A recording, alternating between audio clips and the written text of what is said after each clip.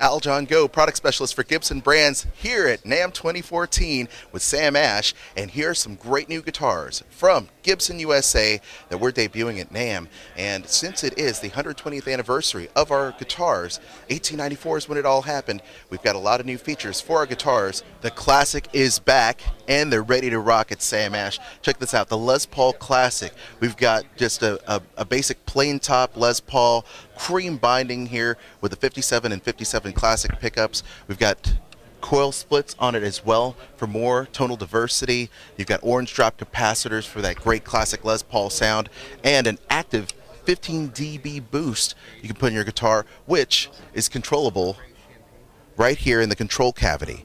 So you can take a trim pot, you can adjust it to how much uh, gain you want, but it's very clean and very cool. And if you take the battery out, because it is an active circuit, actually turns into a kill switch. Very great uh, innovations there by Gibson. You've got the classic Kluson tuners, of course, a set neck, the nitrocellulose lacquer that'll breathe over time and just sweeten that classic Les Paul tone. It is the Les Paul Classic, and you can get a grip on these brand new Max Grip speed knobs from Gibson USA, brand new in 2014.